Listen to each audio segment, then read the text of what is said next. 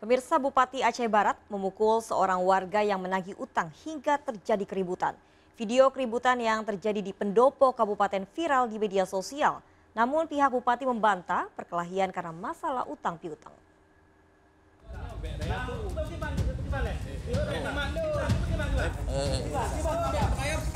Dari video amatir ini, Bupati Aceh Barat Ramli MS terlibat perselisihan diduga terkait masalah uang di Komplek Pendopo Kabupaten Kota Melabo.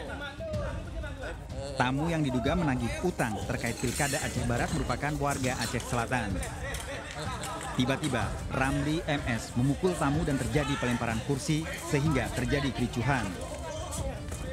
Tamu yang dipukul menagih uang 272 juta rupiah dan mengaku merupakan utang Ramli MS sebelum terpilih sebagai bupati tiga tahun lalu. Namun pihak Bupati Aceh Barat membantah adanya utang piutang. Tidak ada dalam masa bupati yang utang. Bupati sendiri kan ada, kalau masalah utang piutang saya kira itu uh, ada ranah lain lah, ranah lain yang...